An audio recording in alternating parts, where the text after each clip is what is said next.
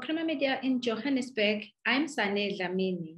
He calls himself an activist and he's also a board member of the Ahmed Kathrada Foundation and former MEC for Transport in Gauteng. Ismail Vadi is here to join me today to discuss his book titled Thambi Naidoo and Family Struggle for Non-Racial Democracy in South Africa.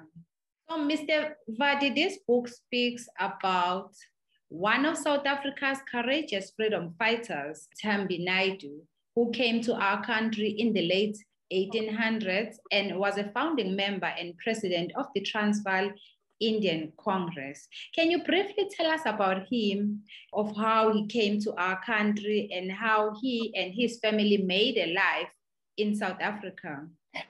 Yes, I think Thambi Naidoo's family is, uh, has made a profound contribution to our freedom struggle. Uh, he came to South Africa in 1889 uh, as a young boy, originally from Mauritius. So his grandparents were from India, but he himself was born in Mauritius, and he and his siblings, a brother and a sister, moved to South Africa uh, after they heard about the discovery of gold and diamonds, uh, gold in Johannesburg and diamonds in the Kimberley area. So they had come over to try and make a new living here uh, primarily for economic reasons. And as a young man, settled for a short while in, uh, in Port Elizabeth and Kimberley, and then they made their way to, to Johannesburg.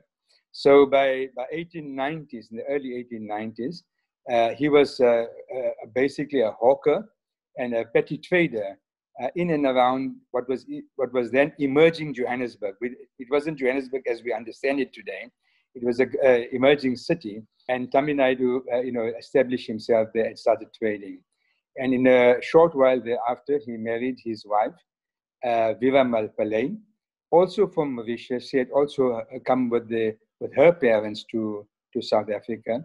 And uh, they, they, they, they got married and settled down in Johannesburg. So that's, in a sense, the first generation. And the book that I've written is called Thambi Naidoo and Family, their uh, contribution to the non-racial to the struggle for freedom and democracy in, in South Africa. And what it looks at is four generations of the Naidoo family uh, in terms of their contribution to our freedom struggle. So it is a family biography.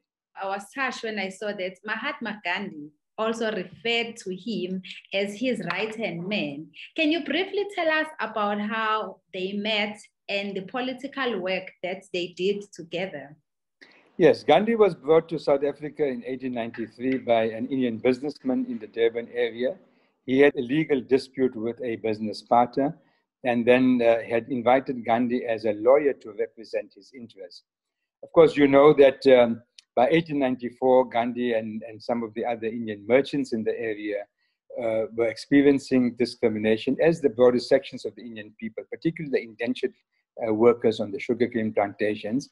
And Gandhi then, you know, started organizing together with some of the prominent Indian people here. And they established the Natal Indian Congress in, in 1894. Uh, by that time, I mean, Thambi Naidoo and, and Gandhi had not even met, but they really met when Gandhi moved to the old Transvaal uh, in 1903 or 1904. And there, I think Indians generally experienced much harsher levels of, of racial discrimination particularly in the Afrikaner republics. You will remember that Transvaal and the Orange Free State were under Afrikaner control after the Anglo-Boer War. Uh, the British had taken over again. And so Gandhi established what was called the Transvaal British Indian Association, which basically, you know, later was renamed as the Transvaal Indian Congress. And very soon, Thambi Naidoo met with Gandhi. They say through uh, a Reverend Doke, who was based in Johannesburg. They became friends and he was introduced to Gandhi. And they developed a political association which lasted for, for a long time thereafter. And his wife, Viramal, was also a leader in her own right. It was interesting to read that uh, Mr. Naidoo adopted a non sexist approach and allowed her and even his daughters to take part in the struggle. Can you tell us about that? Yes, look, if you think back, I mean, to the early 20th century, uh, mm. there was no real women's movement in the country. Even the ANC itself was not formed. I mean, the ANC was only established in 1912. And for, for, for Thambi Naidoo, I mean, people had always imagined that the women who participated in the passive resistance campaign from 1906 to 1914 were really accompanying their husbands. But in Viva you see a bit more than that. You see a very independent woman, uh, a person who's got tremendous organizational capabilities, uh, and played a leading role in mobilizing not just women, but also Indian workers uh, in, the, in, the, in the Durban area, particularly in the sugarcane plantations and, and the, the, the Natal uh, coal mines. Uh, played quite an important uh, role in mobilizing those workers in support of the passive resistance campaign. She herself had gone to jail uh, on, on more than one occasion during, that, uh, during those passive resistance campaign and continued to be active in the women's movement right up till her death in 1946. Even after her husband passed away in 1933, Viva remained an activist. She was a leader in what was then called the Transvaal Indian Women's Association uh, and played quite an active role. And the interesting thing is when the 1946 passive resistance campaign was launched by the Natal Indian Congress and the Transvaal Indian Congress under the leadership of Dr. Monty Naicker and Dr. Yusuf Dadoo, just before her death, she played a prominent role in mobilizing women in support of the, of the passive resistance campaign of 1946. When Gandhi uh, left South Africa for India in 1914, Thambi Naidoo did an extraordinary thing uh, during Gandhi's farewell. Yes. Now, that, that even Vivamal, I think, was taken by complete surprise from what we are able to understand. Uh, at the farewell ceremony, they had a very big dinner in, in Johannesburg, as they did in Natal and also in Cape Town. And uh, at the end of that, Thambi Naidoo just got up and said, Gandhi, I am bequeathing four of my sons to join you in India for the Indian national struggle against British imperialism and British colonialism uh, in the Indian subcontinent. Vivamal, I think he had not conferred with her, he had not discussed it. She got a shock and they say that she almost collapsed because these were little boys. I mean, most of them were born in the, in the 1901 onwards. So, so they were really kids, 8, 9, 10, 14 years old. And the next thing, they shipped onto a boat with Gandhi. One of them died in India, Pakri. There was a, a plague of some sort, and he passed away in 1918. And there, Vivamal, I think, was quite shaken by that. She sort of, you know, got some funds, etc., brought two of her sons back. But uh, Prema Naidoo's father, who we know as Naransamy Roy Naidoo, he stayed in India up till 1928. So he spent almost 14 years uh, with Gandhi and then studied under the Indian Nobel laureate Rabindranath Tagore. So that was quite a, you know, a significant thing because Tagore was a, a, a poet, uh, an intellectual, uh, a literary writer, a significant player in support of the broader, on, on the cultural plane, on the international Indian national struggle against against uh, Britain. So I think that all that rubbed off on on the young Naransamy Naidoo. And when he came to South Africa, I mean, very soon he joined the Transvaal Indian Congress. Was not happy with the moderate tactics that was being used by the leadership then, and uh, you know, quite quickly, by 1939, he joins the Communist Party. Uh, in the Transvaal Indian Congress, he uh, allied himself with Dr. Yusuf Dadoo, who himself was a communist, and a young band of very radical militant leaders, trade unionists, were intellectuals, professional people, and a big struggle starts in the TIC for the control of the leadership. And by 1945, Dadoo becomes the president of the Transvaal Indian Congress and Naransamy Naidoo becomes a vice president of the Transvaal Indian, Indian Congress. So grandfather and grandmother leaders in the TIC, and the next generation now coming onto the leadership of the TIC in the 1940s. It was also interesting when, when I read about his wife now, uh, Amma, and the children like Indres and Prema Naidoo. They also played a huge role in, into the uh, armed struggle against apartheid, and also in the development of the now uh, the leading African National Congress and Transvaal Indian Congress into mass uh, popular movements. Can you tell us a little bit about that? Okay, so the generation of the 1940s, I think, were three important things stand out. One uh, is Amma Naidoo. Amma means mother. It's a, it's a nickname. Her, her real name is Mani. But if you ask any of the of women's leaders of the 1950s and 60s, Mani, they won't know her. They know her as Amma Naidoo. And that name has, in a sense, stuck. Um, profound contribution on the women's movement. She was together with Lilian Ngoyi, Helen Joseph, uh, Frances Baard, was a founding member of the Federation of South African Women Uh, in 1954. She was involved in the Women's March of 1956. So if you see some of the more famous photographs, you'll of course see the four leaders in front, but just behind them, you'll see a lady with a sari. That's Amma Naidoo.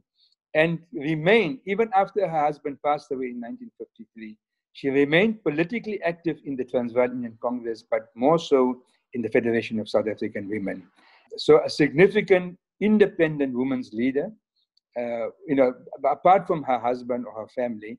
And I think that's quite significant. The second thing that stands out is the point I made earlier on, is that we see the radicalization of the Transvaal Indian Congress and also Natal Indian Congress under Dr. Naicker and some of the trade unionists here, a move towards more militant forms of actions uh, reflected in the 1946 to 1948 passive resistance campaign. So that was the second important development. And the third thing is really the, the linking of the Indian struggle to the national struggle for freedom.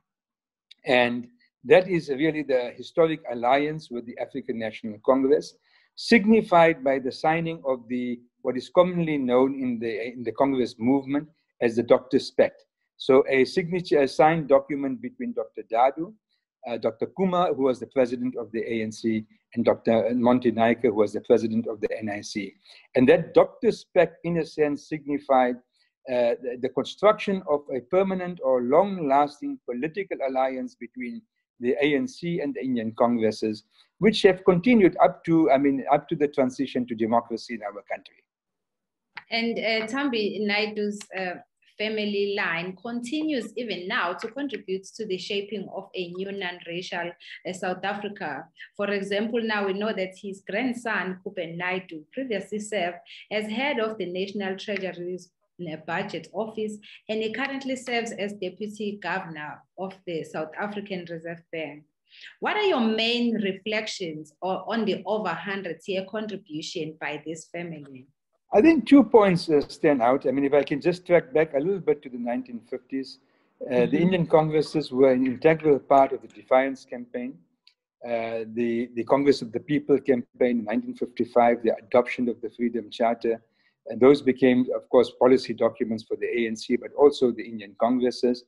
Uh, so that development of a mass movement in the 1950s, I think the credit for that really has to go uh, both to the ANC leadership of the time, Remember, a younger leadership had come to power within the ANC, Walter Sisulu, Mandela, uh, etc. So that, that generational shift is what we also saw in the Indian Congresses, and obviously the joining of hands for a common struggle against apartheid and the National Party then. The next important thing is really the 1960s, when the ANC gets banned, uh, and, and of course, even the TIC and the NIC leaders, I mean, some of them were banned, others were jailed. Uh, Dr. Dadoo had gone together with Oliver Tambo at the same time in, into exile. And there's this whole issue of the armed struggle. Now, you will remember this family, like so many others in the Indian community, were, were Gandhians. They believed in nonviolent resistance, nonviolence, uh, you know, uh, civil disobedience to, to discrimination and oppression. And they were, I think, in principle opposed to violence. But one of the first combatants of Umkhonto we Sizwe is Indres Naidoo, the son of Naransamy and Amma Naidoo. Uh, they were involved in a sabotage campaign in, in, in, and around Johannesburg. They were early recruits to MK. Uh, they were infiltrated by an apartheid agent. And the night that they were actually doing a bombing at the Rabelais uh, railway lines, they were caught on the act. Indres was shot uh, in the shoulder. And of course, they had to plead guilty. And they were amongst the first to be imprisoned on Robben Island uh, for 10 years. So, in a sense, the 1960s marks a, a distinctive shift from nonviolent resistance to armed resistance or the armed struggle. I think that's an important development for the 1960s. And this family didn't pull back. They continued even in terms of the, the higher forms of struggle, that is armed struggle. And then, as you as you mentioned, I mean, the fourth generation all the, all the children of Prema Naidoo, Indres Naidoo, Murthy, uh, and, and Ramni Naidoo, Shanti, and I know they didn't have children, but all of them have been active in one way or the other uh, in the struggle. So most of them were involved in the students' movement in the 1980s. Almost all of them participated in the school's boycotts of the 1980s, uh, in the uh, campaign against the tricameral parliament. Uh, and then, uh, of course, as you said, Kuben was detained in 1988. Uh, his father was, Prema was detained in 1981. And again, during the states of emergency, he was detained for the second time. So Kuben wrote part of his metric exams in detention. He was kept at Diepkloof prison that we commonly known as Sun City. He has a family that has suffered. You know, imprisonment, detention, uh, being imprisoned during the passive resistance campaign, uh, during the states of emergency. Prema himself uh, was involved in, in facilitating the escape of three white ANC prisoners from Pretoria uh, uh, prison uh, he enabled one person to, to escape and leave the country and join the ANC in exile. He was eventually sentenced for that for three years in 1981. So he has a family of, I mean, just, you know, it's, it's unbroken struggle. It's 120 or 30 years of continuation, ongoing continuation in the struggle. Uh, Shanti Naidoo, during the Winnie Mandela trial of 1972, uh, served, you know, was, was uh, in solitary confinement for over a year, alone, absolutely alone, in the women's prison in Johannesburg. So a family that has made a profound contribution, profound sacrifice, deep commitment, a deep dedication to the struggle. And uh, well, uh, they didn't get much in terms of monetary value. They remain ordinary working class people. Of course, some of them are, are very committed civil servants. I mean, Kuben's brother Mayan is a principal in Lenasia, a primary school. And as you've indicated, Kuben is the deputy governor of the South African Reserve Bank. And we who come from Lenasia, we are very proud of that. What lessons, uh, if I may ask, do you think uh, the leaders of today could learn from this amazing, amazing, amazing leader, Thambi Naidoo, and his family? I think the lesson could be learned is that you know the struggle was is about values and principles and beliefs, it's not about acquisition of material wealth. Uh, it's not about you know becoming wealthy and driving fancy cars. So power must be used for the benefit of the people and not for self-benefit. I think that is that is one thing that comes out very very clearly. And those of the Naidoo families, the third and fourth generations uh, who are with us still, I think they are deeply committed to defending our democracy, defending our constitution, uh, they are publicly, they've taken a stance against what we now know as state capture or, you know, the manipulation of state processes for the accumulation of wealth for particular businesses or individuals or even political figures. They stand opposed to that. Uh, they, they are active in the, the ANC veterans and stalwarts uh, movement, the 101 veterans and stalwarts. Uh, still, I mean, they they are all in their 70s and 80s, but they remain committed. And I think that the point that comes out of that is that the struggle hasn't ended. You know, to rebuild our country, to reconstruct our country, it's going to be an ongoing process. It has to be a non-racial process. So we must make sure that, you know, all communities feel included uh, in the national project. All communities feel a part of rebuilding our country and should not feel a sense of exclusion or isolation. And then, of course, it, it can't be for, for, for self enrichment. It has to be for the benefit of our people. And now, Mr. Vadi, in addition uh, to serving as an ANC political representative and as a long-time transport MEC in Gauteng, you've also written a book uh, about South Africa's Freedom Charter and now this book about Thambi Naidoo. How should we describe you as a politician and as a writer? no, I'm oh. just an activist. Uh, I'm just an mm-hmm. activist. I must say, one of the mentors in my life has been Prema Naidoo. I mean, he has remained a working class leader, a, a, very humble working class leader all his life. Deep commitment, tremendous courage. Uh, so I see myself just as an activist. Of course, uh, it has been a, a, privilege to be a member of parliament from 1994 for 17 years. That was a, a real privilege for me And then, uh, as you indicated, I served as the MEC for transport for nine years. Uh, that was a, a, profound experience also for me. Uh, what I'm now doing is that I've, of course, retired from formal politics. So I, I, serve on the board of the Ahmed Kathrada Foundation, and this book has been published by the Kathrada Foundation. Uh, I have written previously on the Congress of the People and the Freedom Charter campaign. That has been, I think, quite an important work because whilst people, you know, many South Africans cherish the Freedom Charter, but they didn't understand the history of it properly. So that has come out through the book. And currently, I am, you know, ongoing research work. I think it's important. Uh, so I'm busy with a with my parliamentary years just to write a book on on my experiences in parliament, particularly in the transition period, 1994, 1999 under Mandela, and then again uh, again under Mbeki. Those were important years, and many people, because they might be a little bit disappointed with the direction that the country is taking now, the economy is down, problems, etc. They're already forgetting. Even the younger generation don't know the, the, the power of that transition period, the impact it had on people.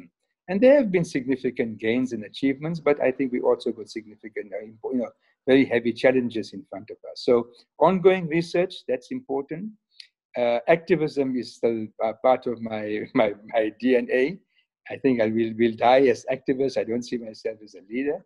And then if I can, you know, inspire younger people, because I see in the Naidoo family, they have inspired us. I, have known the family now from 1980, so it's uh, over 40 years. But their example has been an inspiration to me in my student days, during the days when I was in the youth league.